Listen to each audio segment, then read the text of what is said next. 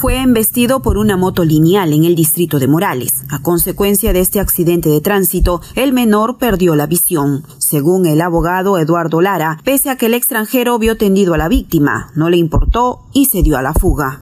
Venezolano, Sequera Olivero, Yonaquier Gabriel, eh, cometió un atropello contra un menor de, de iniciales HD JC.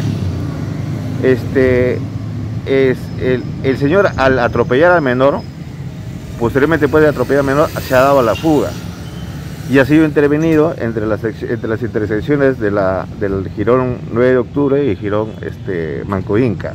Ahora, ¿qué sucede acá? Básicamente existe acá una flagrancia, ha existido un delito y sin embargo a él no se le ha detenido.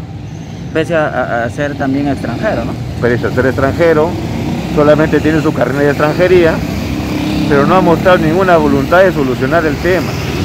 El, el, niño va a perder la vista, o sea, el menor ahorita está grave, ya le voy a dar a usted la foto para que usted lo pueda visualizar y los videos que se han visto.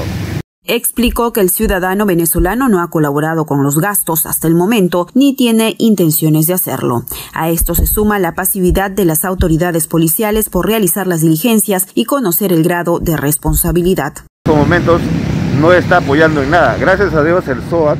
¿Está libre el señor? Está libre, sí. Va a venir a declarar dentro, me dicen dentro de una hora. La policía nos está apoyando. Les he pedido un poco más de ligereza en el trámite de este tipo de, de procesos porque lamentablemente se está demorando mucho.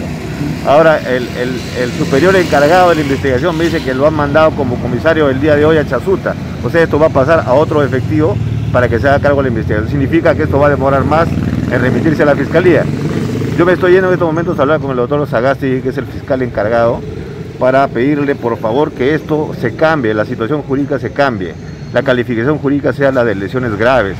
El niño, si no es operado el día de, el día de esta semana, lamentablemente va a perder la vida. ¿El parte policial indica que son lesiones leves entonces? El parte policial no indica ni siquiera eso. Entonces, solamente habla de atropello. O sea, hasta la fecha no se ha efectuado ninguna pericia en el, lugar de los hechos. El efectivo policial se ha personado solamente el mismo día, el mismo día de los hechos se ha personado a la, a la, a la, al hospital, pero el tema se complica con los días posteriores.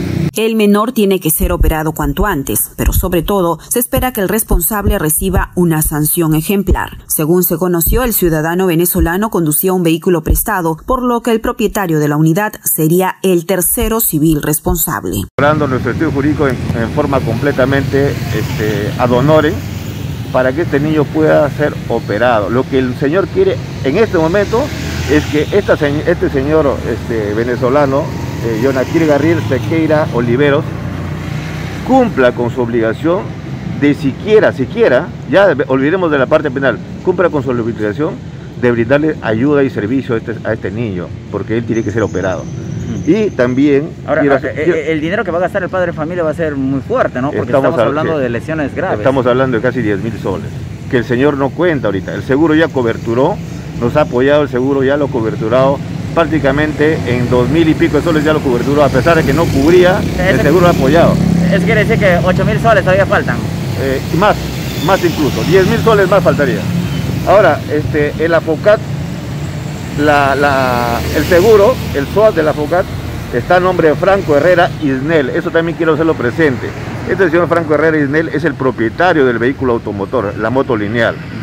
Y como propietario le corresponde tener una responsabilidad civilmente responsable. Uh -huh. Entonces, a él le corresponde también que coayude a eso, porque él, lamentablemente, pues, al ser su propiedad la moto, él también va a tener que responder a esa situación. Y sin... Ahora esperan que la policía apoye el proceso de investigación y que el Ministerio Público resuelva a favor del agraviado, que se encuentra delicado de salud.